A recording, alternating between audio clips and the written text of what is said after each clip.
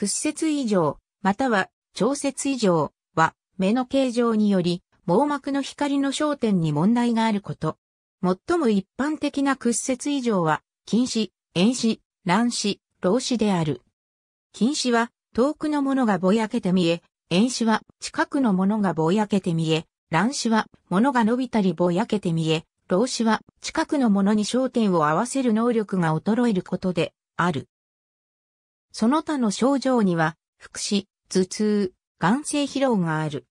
近視は、眼球の長さが長いことによってなり、遠視は、眼球の長さが短いことによってなり、乱視は、角膜の形が異常なことによりなり、老視は、水晶体の形状を変形することが十分にできないことでなる。一部の屈折異常は、親からの遺伝によるものである。眼科検診によって診断される。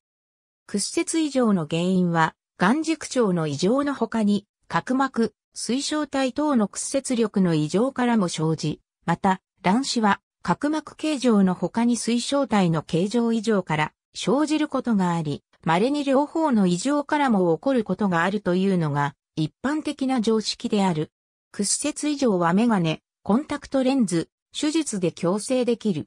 メガネは最も簡単で安全な矯正方法である。コンタクトレンズは広い視野の矯正ができるが、感染症になる可能性がある。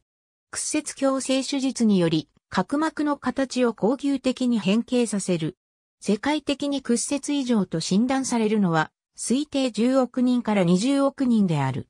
その率は地域によって異なり、ヨーロッパでは人口の約25%、アジアでは人口の約80%に影響が見られる。近視が最もよくある異常で、成人の15から49%、子供1.2から42%がそうである。遠視は一般的に小さい子供や高齢者に見られる。老視のほとんどは35歳以上の人に見られる。2013年の統計では、屈折以上を強制していない人の数は、世界で約6.6億人である。このうち950万人の人が屈折異常によって失明している。屈折異常は白内障、加齢黄斑変性、ビタミン A 不足に並び最も一般的な失明の原因である。ありがとうございます。